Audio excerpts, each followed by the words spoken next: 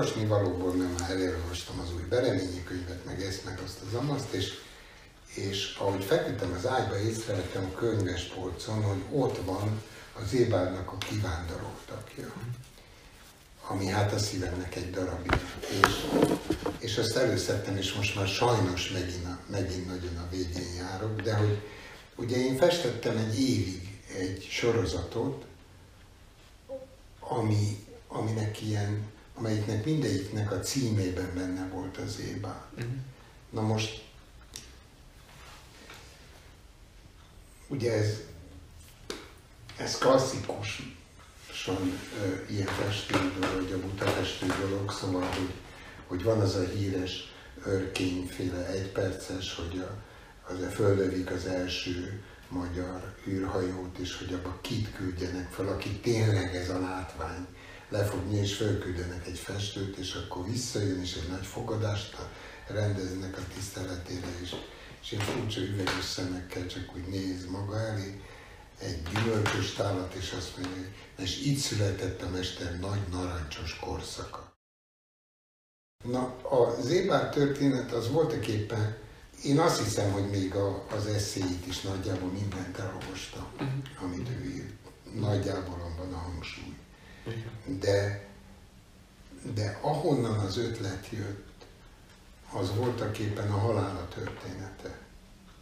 Tehát az volt egy kép nekem, hogy éjszaka megy autóval, ugye kivitte a lányát a repülőtérre, és, és jött visszafelé, éjszaka sötétben, esőben mindegy, megy autóval, és balesetet szenved, mai napig nem tudjuk, hogy volt egy szívrohama, vagy agyvérzés, és attól lett a baleset, vagy a baleset behalt meg. Én ezt legalábbis nem tudom.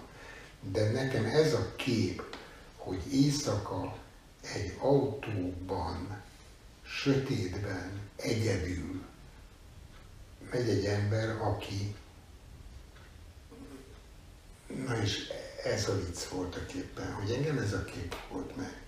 De e, e mögött a kép mögött ott volt azért az a 3000 oldal, Igen, amit, amit olvastam az Émántól.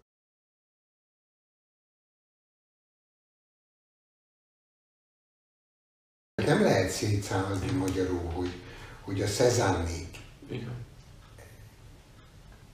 az ábrázoló művészet, festészetben addig az egy érthető dolog, mert hiszen hasonlít a fotóra, és a Szezántól kezdve pedig Hát az már egy bonyolultabb és titokzatosabb. Már csak azért sem lehet így szétszálazni, hiszen akkor mit csinálsz a görögökkel?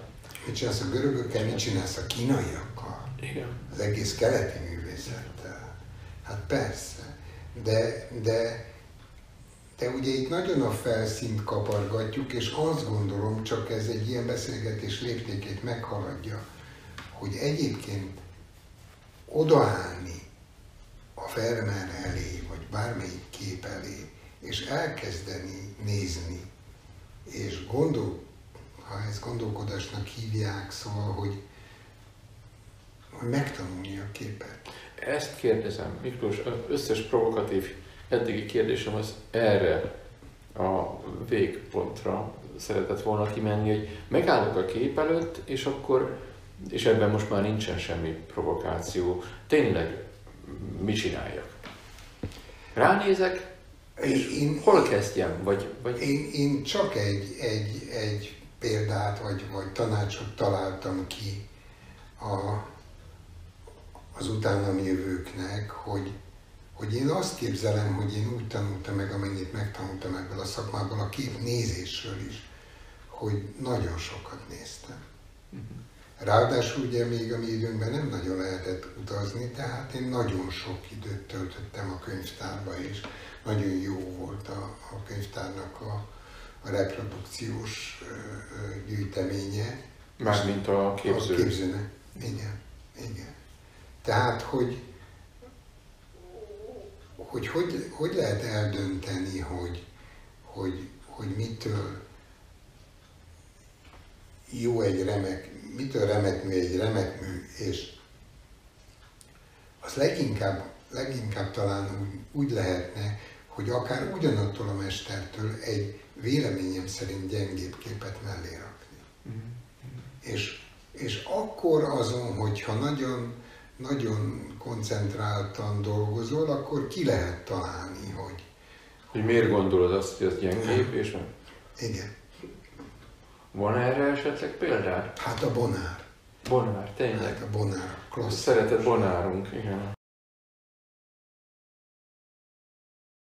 Ott van a fürdőkád, egyik vagy másik fürdőkádas képe.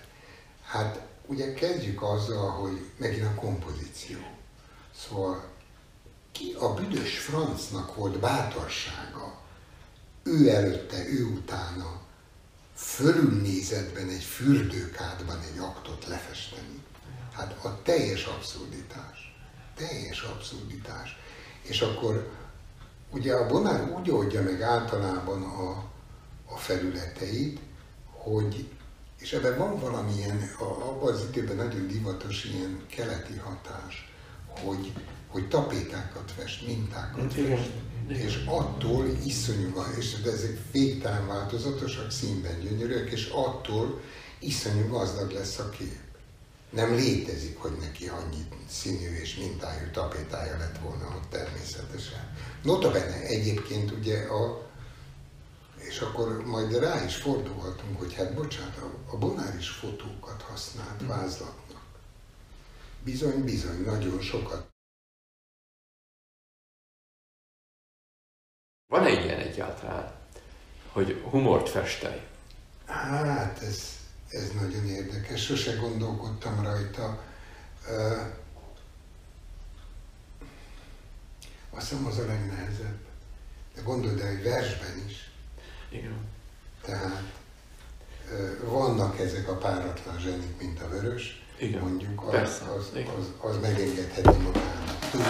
Messze, túl, ne legyen messze, se legyen messze, túl, Jancsi mosogat, Kati az út. Van egy, van egy ága a festészetnek, amit én tévedésnek is tartok nagyjából, amit úgy hívnak, hogy szürrealizmus. Aha ott páratlan lehetőségei vannak a marháskodásnak. Tehát egy dali, az például... Hát az nagyon periférikus, igen. Igen. igen nagyon jó igen. mesterségbeli tudással, de hát én mondjuk egy hajítófát nem adnék a képenyére. Mert, mert nem erre való a festészet. Azt hiszem egyszerűen. Tehát az egész szürrealizmus az... De hogy, hogy nem, hát az elfolyik az óra, meg... Hát ez egy mondat, ez nem festészet ez, ez, ez, ez fogalom illusztráció, karikatúra, ha tetszik. Ugye azt, azt, azt sokszor elmondtam már, neked is elmondtam már többször, hogy, hogy az a kép, ami egy vagy több mondatban meg, megfogalmazható, az a baj van. Uh-huh. Mert a festészet ott kezdődik, ahol már nincsenek mondatok, és ezt nagyon komolyan gondolom.